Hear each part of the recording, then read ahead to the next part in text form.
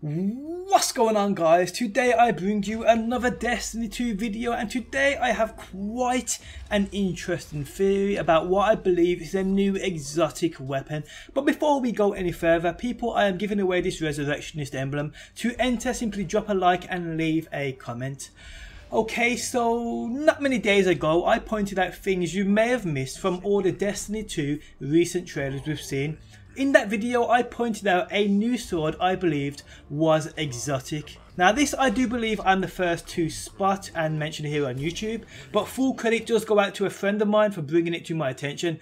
Doug117, you sexy Scottish Viking looking mofo. Now you guys obviously see the sword within this trailer which this Warlock is holding. What's really interesting and what I first thought was an icon which is at the bottom end of this sword which actually is in fact I believe a gyroscope much like what we see on the touch of Malice and what's in the speaker's room within the tower. Now the gyroscope on the touch of Malice is said to hold a piece of Oryx's soul so what could be the lore behind the gyroscope seen on this sword? Now here is an interesting theory for all you to think about. The speaker has one of these contraptions within his space within the tower. This makes me think it may have something to do with him. Hear me out. The speaker as we know so far in Destiny 2 is nowhere to be seen.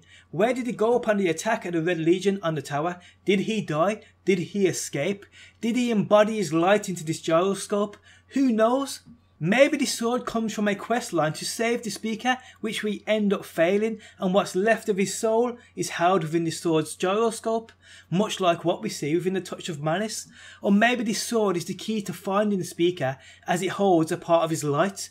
Notice as well, it's a warlock wielding the sword within the trailer too. Now we do know you do get a sword from the speaker within Destiny 1, and it's for completing a Tale of Two Guardians, which is a quest. Doing this quest, you're rewarded a sword from the speaker. So the speaker and swords have tied in before. But what do you think about this? Do you think this sword could have something to do with the speaker? Do you think this sword embodies the speaker's light? Do you think it's a key to finding the speaker within Destiny 2? Do you think the speaker may have died, leaving what's left of his soul held within this sword's gyroscope? Let me know. Like I said though, this is just a theory, one to think about. If you'd like to add to this theory, be sure to leave a comment down below. If you think it's something completely different, let me know. Hope you guys did enjoy the video though. If you're new around here and enjoy daily Destiny videos, be sure to subscribe. If you never want to miss a video of mine, Make sure you press that bell button next to that subscribe button to receive email notifications. But remember people, you heard it here first if this turns out to be true.